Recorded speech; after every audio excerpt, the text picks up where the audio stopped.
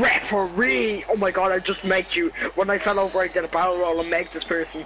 Do a barrel roll. Do a do a barrel barrel roll. A barrel roll. Do a do a barrel barrel roll. A barrel roll. I know you're going to probably hate me for trying this. Daniel Alves has fucking 88 You are a fucking cunt. To the line! No, Tony, don't. Let me let me try. Let me try. To the line! Bang! To the line!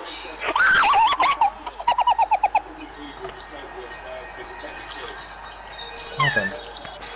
Outside. Yes. I have no words. I scored on I you. have no words. Are you fucking kidding me? Oh my god. Goalkeeper, you mad? I fucking hate you so much. It's unreal. That was my first ever free kick I've scored and you, and up with a goal from like 50 yards out. I'm fucking done. How does that go in? I literally, as soon as I heard No, you're gonna shoot, I was like, on the line. It just didn't go Owen. in. Yeah.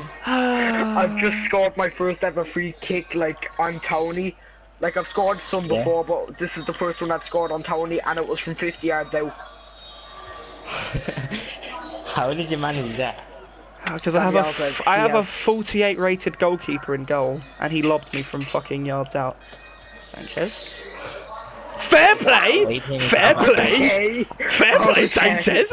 All right, you, you, you, you give me back some fucking of my what's what's the word I'm looking for? Some of my Dignity. dignity back. Here we go. Woo! Well, What a goal. Okay, it, that was That was class. The thing is, mine was more difficult because you actually have a good goalkeeper. no,